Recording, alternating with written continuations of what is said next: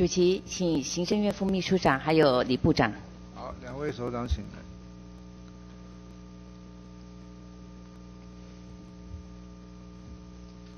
呃呃，副秘书长，刚才呃，今天我们大家最关心的就是有关于牛肉进口的事情哈。那尤其有关于这个牛杂碎啦等等啊这些物品，那大家很关心健康。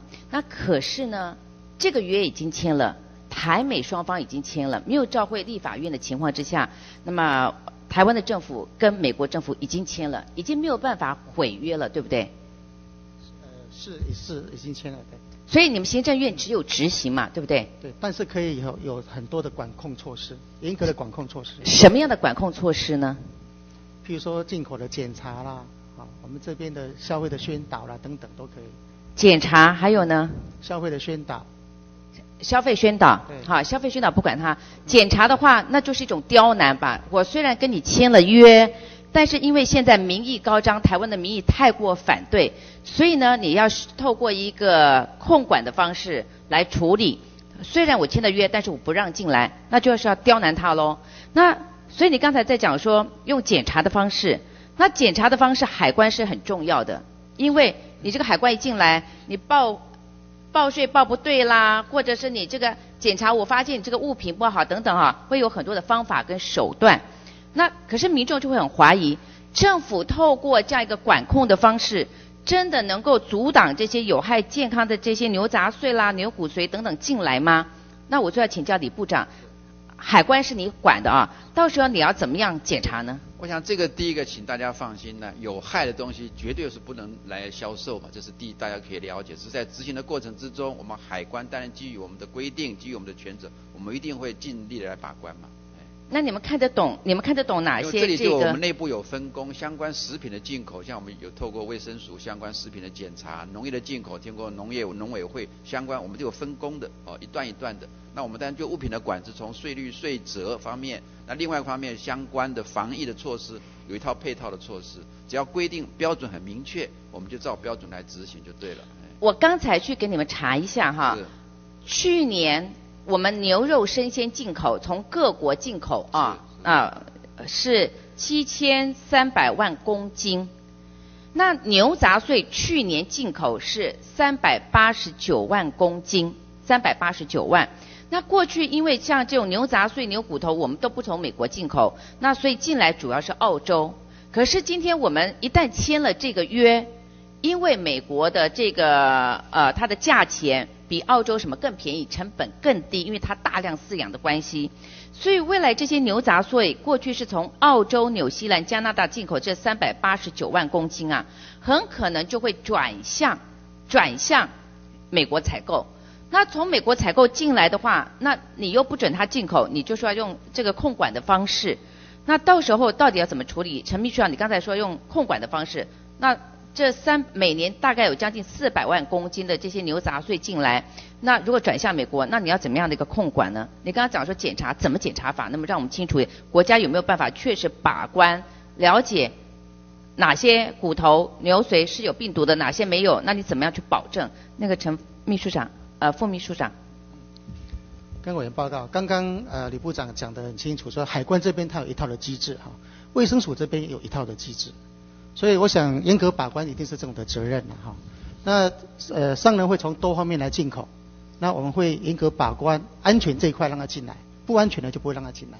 是副秘书长还有一个问题哈，因为其实讲这个话其实是呃只是给国人吃一个安心药啦，其实于事无补，因为我不太相信我们现在的技术有办法去了解哪些的牛骨髓、牛杂髓它本身是有没有病毒的。啊，那你们怎么去去那个？这还涉及到一个问题，农民的问题。我另外去查了一个资料啊，就是说现在他有的进关啊，他政府你一旦刁难他，你一旦刁难他，他就说，哎，我现在我不给人吃了，我这些牛杂碎、牛骨头、牛髓我不给人吃了。但是他用饲料的名义进来啊，过去我们有很多的奶粉是用给动物吃的奶粉呐，饲料进来，结果呢？改包装以后就给人吃，造成很多的黑心奶粉事件，国内发生过。那你看，农民他会有需要这些动物饲料啊。那我去查一下资料，查一下资料，一个月啊，一个月啊，我们从美国进口的饲料啊，包括包括含药物的饲物添加物，不含药物的饲呃饲料添加物，包括鱼饲料，包括其他调制动物饲料，包括其他家畜饲料，一共有五大类，每个月要从美国进口大概啊一百六十万、一百五十万公斤左右。那所以到时候它还会产生一个问题呀，哎，农民要进口的饲料你也不能挡他，他说我不给人吃，可是进来以后这些牛骨髓、牛呃牛杂碎等等，它到底是给人吃给动物吃？它的包装包装又推出来，你也搞不清楚。所以呢，不管怎么样，你签了这个约，你一旦签了这个约，你要透透过管制的方式，那第一个能不能管制检查出来是一个问题，第二个他现在。改头换面换成进口饲料的方式，然后呢进来以后混一混给人吃，或者是动物吃的，它本身也会感染病毒，然后再给人类。那那这样怎么处理呢？副秘书长。好像这一点特别跟委员报。事实上讲起来，我们今天政府做个事情的目的是什么？我想这个可能我们先确定。基本上讲起来，一个这个自由的贸易，主要是让我们消费者获得更便宜、更安全、更好的东西，这是目的。啊，问题就是方法。怎么管控？怎么检验？怎么这个管理这个流程？应该是有套机制的啦，就等同以前那个毒奶粉一样啊。会怎么说？从源头、原产地的证明、品质的检验，到一系列后面追踪管控，我想这个制度做好，就能够保障我们消费者的健康跟安全，这是最重要的。那我们海关当然基于这个进口进管的安全的措施，我们一定会依据相关的规范去执行。哎。呃，我想请教一下副秘书长啊，就说你刚才要说说控管的方式，约虽然签了，但是我要透过控管的方式不让他进来。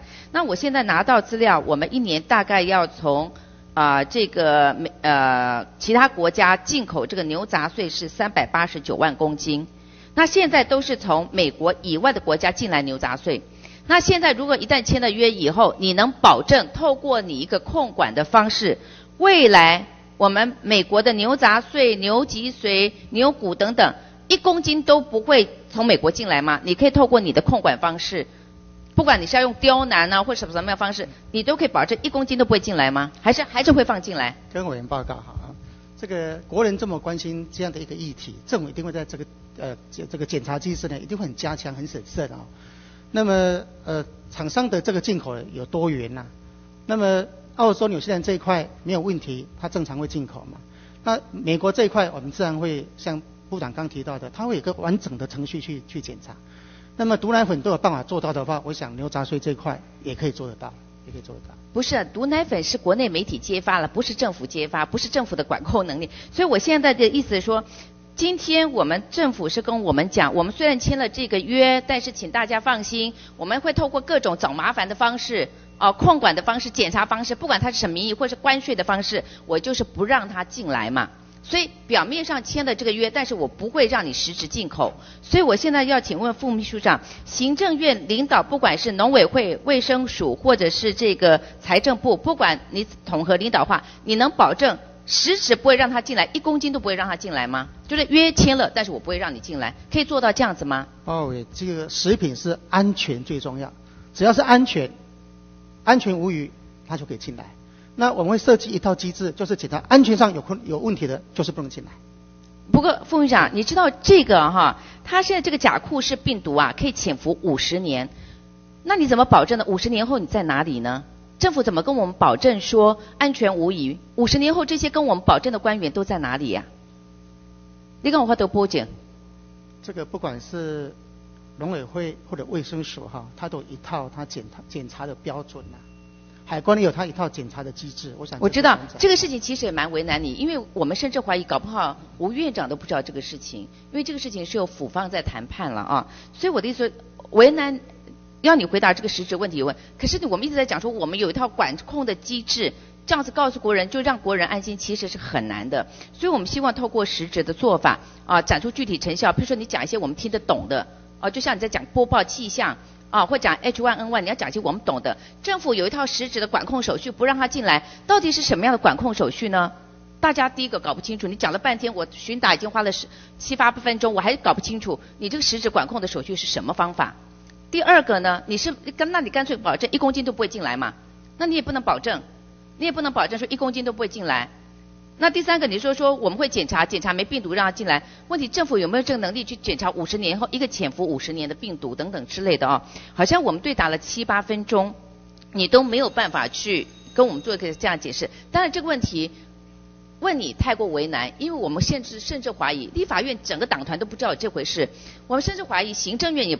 院长搞不好也不清楚当初这个约是怎么签的，因为这个签约的方式已经超过外交这个层次了。那所以呢，但是如果我们这个事情，如果我们不能够收拾善后，跟国人提出个具体保证，好，冤逃税都可以啊，冤签下去了不怕刀，但是外当拨证一则对不对外？好，那透过一个实质保证嘛。可是刚才问了半天，你们只说我们我们会透过管控的方式，可是不晓是什么管控方式，那这很麻烦，国人不会有信心啊。我刚才在讲说他。他今天如果来正式来跟你申请，你能不不准他进来吗？他如果检查说我有各种的美国的这种病毒证明什么之类的话，我都有，那你能不让他进来？如果他手续完备，你能不让他进来吗？检查有问题就不能进来。那如果检查没问题，手手续都完备呢？所以基本上是看他安全不安全了。不过你们晓不晓得什么叫甲库氏病毒？甲库氏病毒在检查的时候不会发现呢。它是潜伏一个病菌，然后可能二三，它而且它的这个特这个病菌特色很长，它二三十年可能都不会发作，甚至到五十年它才发作。你这个人忽然脑筋神经错乱了，小孩子他现在吃的这个奶粉或牛骨髓的东西或什么之类的，他现在他现在没有办法没有办法去这个发，可能不会发作，可是二三十年后他才发作，所以他在检查的时候是看不出来的。那所以他给你出具的证明，一切都是符合卫生。